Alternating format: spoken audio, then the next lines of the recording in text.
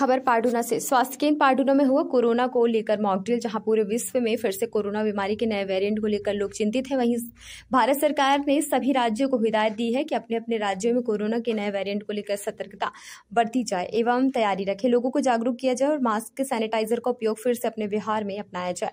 वहीं सभी स्वास्थ्य केंद्रों में तैयारी रखे। उसी क्रम में आज पाडुना स्वास्थ्य केंद्र में मॉकड्रिल किया गया, जिसमें कोरोना को लेकर अपनी तैयारी दिखाई गई। खबर भारतवर्ष के लिए पाडुना से प्रशांत माहुरकर की रिपोर्ट। अपने शहर, अपने प्रदेश की ताज़ा खबरों के लिए लाइक करें शेयर करें सब्सक्राइब करें। और हाँ बेल आइकन दबाना ना भूलें, क्योंकि खबर हमारी फैसला जनतंत्र का।